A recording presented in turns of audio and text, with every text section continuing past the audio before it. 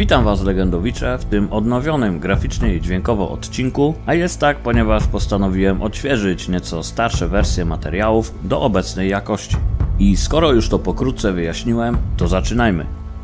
Słysząc o wielkim pająku zdolnym zjeść człowieka, zapewne większość przed oczami ma bestię z powieści brytyjskiego pisarza Johna Ronalda Tolkiena. A mowa tutaj o postaci gigantycznej pajęczycy, będącej postrachem wszystkich istot żywych na pograniczu Mordoru, a bestia ta zwała się Sheloba bądź też Ungol, córka Ungolianta, złego demona o niewiadomym pochodzeniu, który żywił się światłem i również nosił się pod postacią monstrualnego pająka. Ale nie bez powodu ponownie nawiązuje do twórczości tego brytyjskiego pisarza, ponieważ możliwe jest, że tak jak i w przypadku Gandalfa, którego stworzył on inspirując się karkonoszem, tak i w przypadku Szeloby mógł zaczerpnąć nieco z wieluńskiej legendy, mówiącej o podobnym stworzeniu, które na początku dziejów Królestwa Polskiego siało terror, rozpacz i śmierć. A dokładnie jest to legenda mówiąca o krwiożerczym monstrum w postaci pająka, grasującego po ziemiach wieluńskich, lasach, polach oraz wioskach. I jedni powiadali, że owa poczwara była wielkości konia, inni zaś, że była ona o wiele większa i z łatwością potrafiła pożreć nie tylko konia, ale też jeźdźca jadącego na jego grzbiecie. Pewności jednak nie było, ponieważ każdy, kto napotkał owe straszliwe stworzenie, ponosił pewną i natychmiastową śmierć, po czym ginął po nim wszelki słuch. A sama legenda o tej niewiarygodnej i nie bez powodu straszliwej, mrożącej krew w żyłach istocie brzmi tak. Dawne to były czasy, kiedy młodemu władcy Polski z rodu Piastów przyszło borykać się nie tylko z sąsiednimi mocarstwami, ale i ze straszliwymi bestiami. Nie było bowiem miasta, wsi czy lasu, w którym nie znalazłoby się siejące postrach i spustoszenie licho. Zatem i w przypadku ziem wieluńskich nie było wyjątku, bo i one były zamieszkane przez poczwarę z piekła rodem. Oczywiście na początku bagatelizowano całą sprawę, traktując to jako pogłoski wymawiane przez szaleńców. Jednak prawdziwe problemy zaczęły się wtedy, kiedy zwierzyna leśna, na którą ponoć polowało owe stworzenie, uciekła z jego naturalnych terenów łowieckich. I wtedy to pogłoska owa okazała się o wiele bardziej namacalna, gdy wygłodniałe monstrum zaczęło wypełzać nocą z lasu i za swój cel obierać pobliskie pastwiska. Poza tym w całej okolicy zaczęły znikać wałęsające się psy, których zawsze pełno było na łąkach i gościńcach, jednak nagle wszystkie zniknęły z dnia na dzień. Wówczas to zrozpaczeni chłopi zaczęli dowierzać karczmarnym bajarzom, którzy często wspominali o nieopisanej grozie, czyhającej gdzieś w głębi okolicznych lasów i moczar. W tym momencie stało się też jasne, że to nie sprawka wilków czy bandytów, gdyż chłopi o poranku często znajdowali dziwne punkty i zagłębienia w ziemi tak w środku, jak i wokół swoich zagród. Jednak żadnych śladów wilczych łap czy odcisków butów, które mógłby zostawić człowiek. I co prawda nikt nigdy nie widział żadnego pająka, ale powoli nawet najwięksi sceptycy zaczęli czuć, że coś ma się na rzeczy. I gdy już straty zaczęły być coraz bardziej dotkliwe, wtedy to mieszkańcy, mający już dość szkód oraz strachu przed owym monstrum, postanowili zwrócić się do króla, by ten przysłał pomoc. Wkrótce na jego wezwanie przybyło wielu mężnych i walecznych wojów, chcących okryć się sławą i chwałą, lecz niestety żaden z nich po wjechaniu do lasu już nigdy żywy z niego nie wyjechał. Trwoga wówczas padła na mieszkańców ziem wieluńskich, ludzie nawet za dnia chodzili grupami z kosami na sztorc, a po zapadnięciu zmroku zamykały się wszystkie karczmy oraz wyludniały wsie. Chłopi zaś wraz z rodzinami i ocalałą zwierzyną zamykali się w chałupach, całkowicie steroryzowani wyczynami bestii, która to dzięki walecznym przybyszom zasmakowała i w ludzkiej krwi. Przez co z czasem i bardzo często dobrowolnie dokarmiano pająka, by ten nie atakował ludzi. A nie było innej możliwości, gdyż do niedawna krewkie i waleczne rycerstwo zaczęło unikać ziem wieluńskich jak ognia. Za to zrozpaczeni chłopi zostali pozostawieni na pastwę losu, a właściwie na pastwę morderczego i bezlitosnego pająka. Stworzenia, z którym nikt nie mógł się równać, nikt nie chciał się równać, ani nikt nie miał już nawet odwagi, by o owej bestii chociażby wspomnieć. Niestety dla chłopów po pewnym czasie zaczęło już brakować zwierząt hodowlanych, a przerażające stworzenie nawet na chwilę nie dawało o sobie zapomnieć. I jak wcześniej zostało wspomniane, pająk ten znał już smak ludzkiej krwi i jak nie trudno się domyśleć, zaczął brać na cel mieszkańców pobliskich wsi. Na początku jego ofiarami padali samotni podróżnicy oraz mało roztropne dziewczęta zbierające kwiaty na łąkach, gęsiarki czy młodzież wymykająca się na kąpieliska i różnego rodzaju schadzki.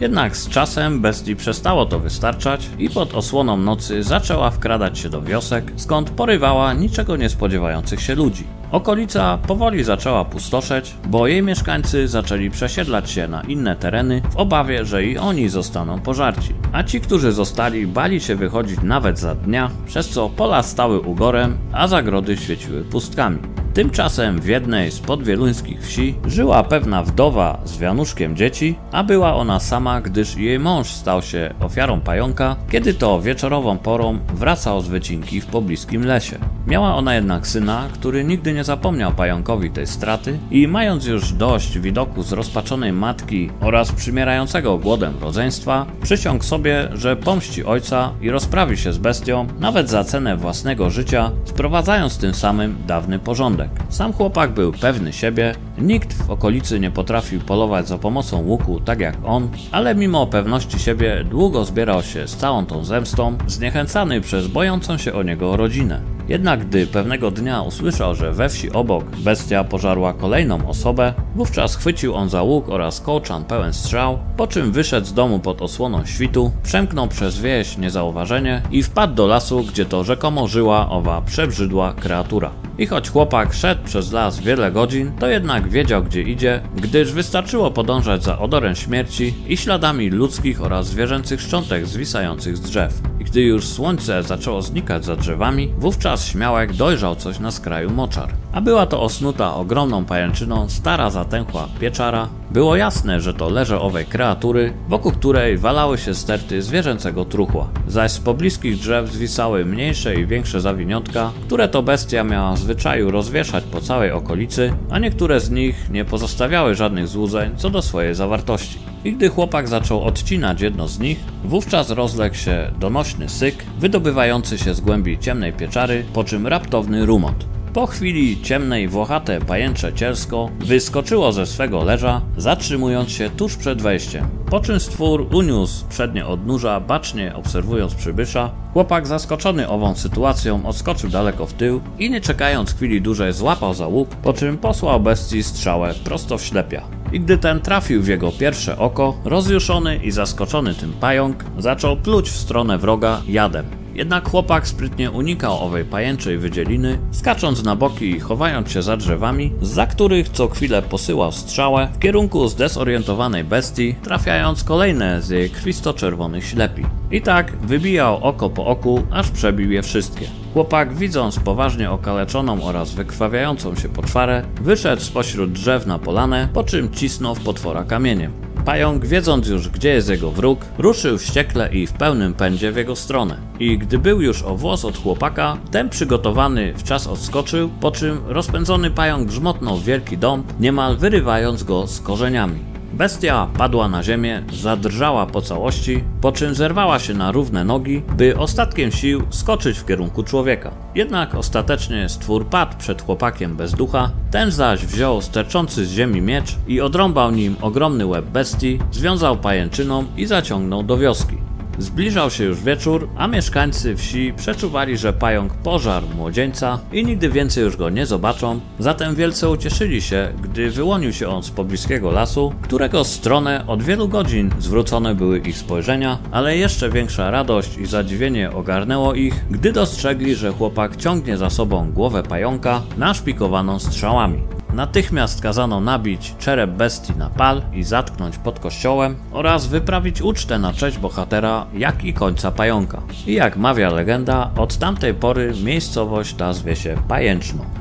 Ale to nie koniec, bo jest więcej wersji tej legendy, na przykład taka, w której pająk po wyjściu ze swojej pieczary przemówił i poczynając od momentu spotkania śmiałka z bestią, stwór powiedział tak: Powinienem cię zabić. Na co młodzieniec zerwał się i szybko naszykował łuk, w drugiej dłoni ściskając kołczan ze strzałami. Przyszedłem zawrzeć z tobą ugodę, odparł chłopak, rozglądając się za pająkiem. Jestem ostatnim obrońcą mojej wsi. Jeśli teraz mnie zabijesz, wszyscy ludzie tam żyjący będą zdani na twoją łaskę bądź niełaskę. Jednak zanim to zrobisz, to musisz wiedzieć, że mam potężną moc i mogę pokonać cię bez problemu. Naprawdę jesteś wyjątkowy? Bo jeszcze żaden z twoich taki nie był. Ironicznie odsyknął wyraźnie drwiący z przybysza pająk, po czym wyłonił się z jaskini. Chłopak spojrzał na niego, padł na kolana i zaczął głośno rozpaczać. O ja nieszczęsny, nie mam szans na pokonanie tak wielkiego pająka. Poczwara, widząc to, zarechotała głośno i dodała. Eee, by było ciekawiej, dam ci szansę, nędzna istoto, a potem cię zabiję. Weź strzałę i spróbuj przebić moją grubą skórę, tak jak próbowali tego inni głupcy, myśląc, że dadzą mi radę. Młodzieniec wziął strzałę, naprężył łuk ile sił, po czym wystrzelił, ale nie celował tam, gdzie pająk by sobie tego życzył, bo posłał on strzałę prosto w jego oczy. I strzelał tak długo i nieprzerwanie, aż całkowicie oślepił kreaturę, w ten sposób pokonując pająka, który ku swej zgubie go zlekceważył. Jest też trzecia legenda, która różni się nieco od wcześniejszych, a brzmi ona tak. Chłopak imieniem Biały wstąpił do lasu, po drodze znalazł kilka kopii i włóczni, pożartych już przez pająka rycerzy, umocował wszystko razem, po czym powstała jedna, kilkukrotnie dłuższa od zwykłej lanca. Wówczas zaparł się, złapał ją obiema rękoma i ruszył naprzód. I po jakimś czasie, niedaleko ścieżki, ujrzał tajemniczą pieczarę osnutą pajęczynami. Biały zerwał jedną z nich, po czym z jamy, jak na zawołanie, wyskoczył ogromny, paskudny pająk. Zaczął strzelać trującym jadem i wywijać ogromnymi odnóżami, za to chłopak stojąc w bezpiecznej odległości od bestii, kuł ją co jakiś czas najmocniej jak potrafił i gdy słońce już zaczęło kryć się w gęstwinie, pająk wydał ostatnie tchnienie, ulewając przy tym równie ostatnią kroplę krwi. To już koniec legend o wieluńskim monstrum w postaci pająka. Liczę, że ten remake Wam się spodobał, a ja dziękuję Wam już za uwagę i wsparcie w postaci aktywności na kanale. Nowym widzom polecam subskrybować kanał, gdyż właśnie bije się o 5000 subskrypcji, a tymczasem jeszcze raz dziękuję i do następnej legendy.